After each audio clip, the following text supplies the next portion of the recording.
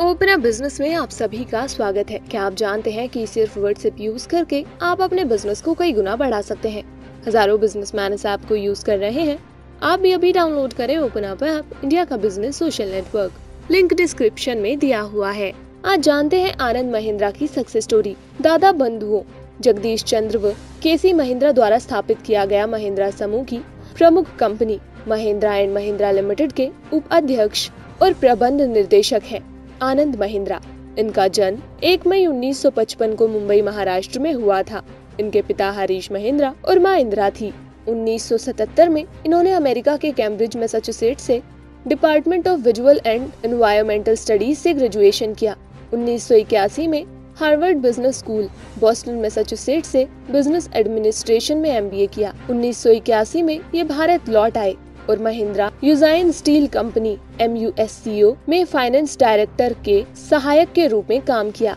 उन्नीस सौ उनासी में जब महिंद्रा एंड महिंद्रा समूह के real estate development and hospitality unit के अध्यक्ष बने। उन्नीस सौ इक्यानवे में महिंद्रा एंड महिंद्रा समूह के उप प्रबंधक निर्देशक बन गए।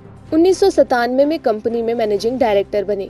2003 में कंपनी के वाइस चेयरमैन बने। 2003 में कोटक महिंद्रा फाइनेंस लिमिटेड के को प्रमोटर बने और तब इसे बैंक बना दिया गया, जो आज भारत के अग्रणी निजी क्षेत्र के बैंकों में विश्वसनीय स्थान पर है। ग्लोबल ऑब्जेक्टिव को पाने के लिए निर्धारित स्टैंडर्ड्स लेकर आए। 2002 में महिंद्रा एंड महिंद्रा समूह ग्लोबल लेवल पर अपनी पहचान, स्वदेशी तकनीक पर विकसित कार एसयूवी के नए मॉडल स्कॉर्पियो बनाए। 2009-2010 में कुछ कंपनियाँ एक्वायर की, जैसे Satyam computer services Reva electric vehicles और Ssangyong motor companies Mahindra system and automotive technology की स्थापना की, जो नए मॉड्यूल्स और बेहतर इंजीनियरिंग सेवाएँ उपलब्ध करा रही है। कंपनी ने ब्रिटेन और चीन में इंडस्ट्रियल इंस्टीट्यूशंस के अधिग्रहण की रणनीति पर भी काम किया है। अमेरिका में तीन असेंबली प्लांट्स की स्थापना की है और अंतर्राष्ट्रीय कंपनियों जैसे रेनो निसान और international truck and engine corporation संयुक्त राज्य अमेरिका के साथ ज्वाइंट वेंचर किया है। 2003-4 में भारतीय उद्योग परिसंघ ऑटोमोटिव रिसर्च एसोसिएशन के अध्यक्ष बने। भारत में पेशेवर प्रबंधन की उन्नति के लिए समर्पित एक संगठन हार्वर्ड बिज़नेस स्कूल एसोसिएशन के को फाउंडर है। डावोस में विश्व आर्थिक मंच के सह अध्यक्ष हैं। National stock exchange of India limited के एक जन प्रतिनिधि श्रेणी के निर्देशक हैं। योग्य छात्रों को छात्रवृत्ति प्रदान करना केसी महिंद्रा एजुकेशन ट्रस्ट के ट्रस्टी हैं। महिंद्रा यूनाइटेड वर्ल्ड कॉलेज के बोर्ड ऑफ़ गवर्नर भी हैं। महिंद्रा उद्योग समूह के Mahindra tractors Bolero S U और महिंद्रा स्कॉर्पियो इनकी पहचान बन गई है।